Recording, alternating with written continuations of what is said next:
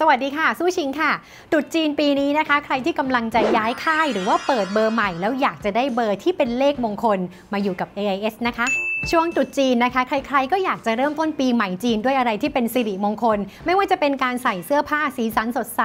การไหว้บรรพบุรุษ การติดคำอวยพรที่ความหมายดี หรือว่าการกินอาหารที่เป็นมงคลนะคะสำหรับหลายๆคนแล้วการเปลี่ยนเบอร์โทรศัพท์มาใช้เป็นเบอร์มงคล ก็ช่วยให้อุ่นใจว่าปีนี้จะเป็นปีที่ดีขึ้นกว่าที่ผ่านมาค่ะ วันนี้นะคะสู้ชิงจะพาไปดูว่าใครที่ต้องการจะย้ายค่าย หรือว่าเปิดเบอร์ใหม่กับ AIS ที่เป็นแหล่งรวมเบอร์มงคลที่ใหญ่ที่สุดมีเลขมงคลให้เลือกมากที่สุด โดยคัดสรรจากผู้เชี่ยวชาญด้านศาสตร์ตัวเลข จะมีขั้นตอนวิธีในการเลือกเบอร์ยังไงบ้าง ไปชมกันค่ะ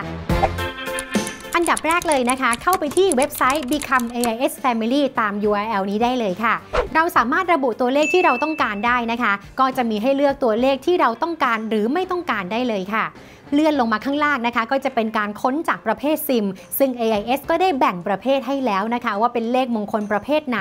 ส่งเสริมด้านไหนบ้าง อย่างเช่น ความร่ำรวยมีเงินมีทอง โชคลาภความรักและสุขภาพ และยังมีเบอร์มงคลที่เป็นเบอร์สวยด้วยนะคะ เลือกแพ็กเกจที่ต้องการกรอกข้อมูลสั่งซื้อ แล้วก็รอรับซิมที่บ้านได้เลยค่ะ